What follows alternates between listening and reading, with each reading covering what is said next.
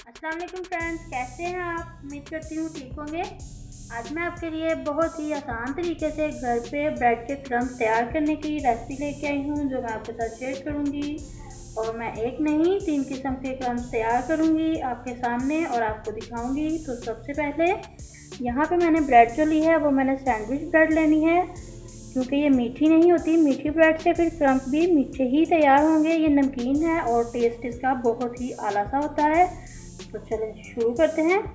सबसे पहले ब्रेड के पीसेस लिए हैं मैंने और इनके जो किनारे हैं, उनको मैंने अलग कर लेना है।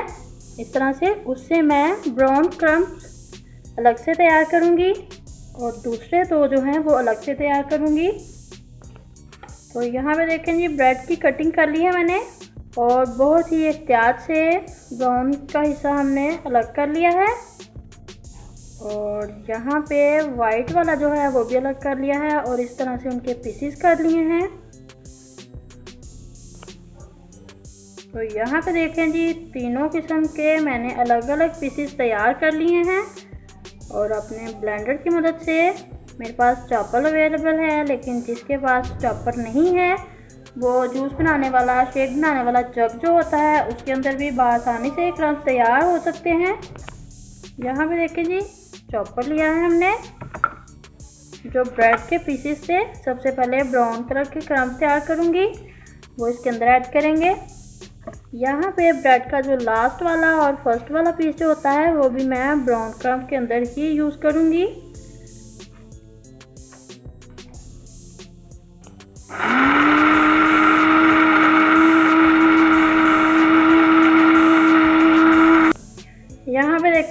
यहाँ पे हमारे ब्राउन कलर के क्रम्स हैं और यहाँ पे हैं हमारे वाइट क्रम्स ठीक है?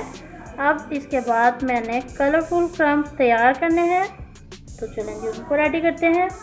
तो चलें जी, यहाँ पे हमने कलरफुल क्रम्स तैयार करने हैं और उसमें जाएगा ऑरेंज कलर ठीक है? जो चावल वगैरह को भी कलर यूज़ करते हैं, इस कलर का कोई नुकसान नहीं होता है, ये रखा जा सकता है।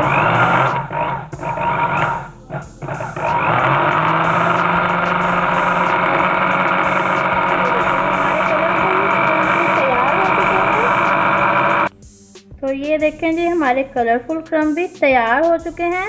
इनको देखें, एक जैसा कलर कितना प्यारा है। मशीन के बगैर हैंड से अगर एक जैसा कलर लाएँ तो कभी भी नहीं आ सकता है। तो चलें जी, अब इनको दो दो से तीन तीन मिनट तक इनको हल्का सा हमने फ्राई करना है बगैर ऑयल के। तो चलें जी फ्लेम को ऑन किया है हमने और हमारा पैन जो है वो गर्म हो चुका है। सबसे पहले वाइट कलर के जो क्रम्स हमने तैयार किए हैं, उनको फ्राई करूँगी। ओनली दो से तीन मिनट बस इससे ज़्यादा नहीं, क्योंकि फिर इनका कलर चेंज होना शुरू हो जाएगा।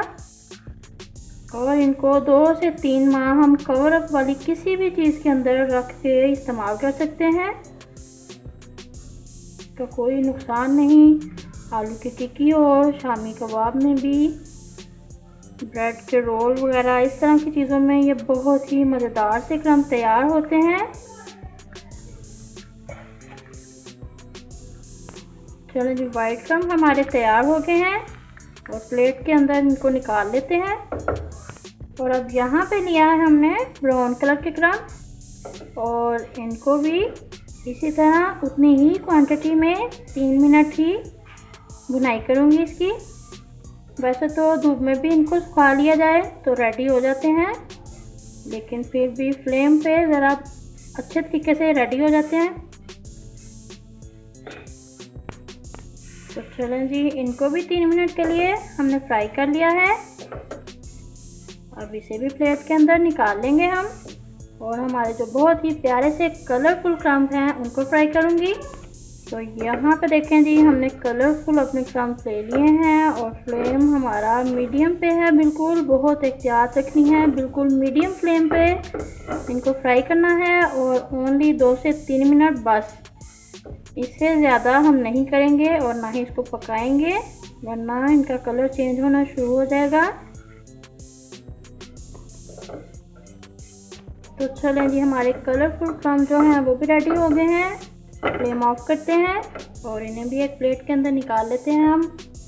तो चेक करें जी, ये रहे हमारे तीनों किस्म के क्रम जो मैंने आपके साथ रेसिपी शेयर की है। मेरे चैनल को ज़रूर सब्सक्राइब कीजिएगा लाइक भी दीजिएगा, अपना और अपने प्यारों का ख्याल रखिएगा और मुझे दुआ में याद रखिएगा। अल्लाह हाफिज़।